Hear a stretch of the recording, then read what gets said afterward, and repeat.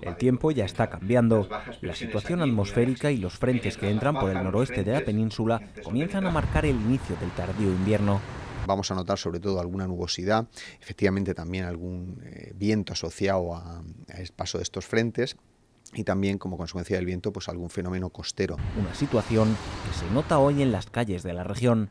De momento se puede circular por la calle, no te cae nada en la cabeza y, y bueno, de momento soportable. Un poco de viento, pero que no es viento ese de que vuela la ceja ni nada. Es llevadero y se puede llevar muy bien. Cara a los próximos días, bajadas en los termómetros y primeras precipitaciones del año 2016 de cara al domingo y primeros días de la semana que viene parece que sí habría una bajada importante de temperaturas, con lo que sería lo que es la, la, entrada del invierno que va a llegar con más de un mes de retraso a nuestra región.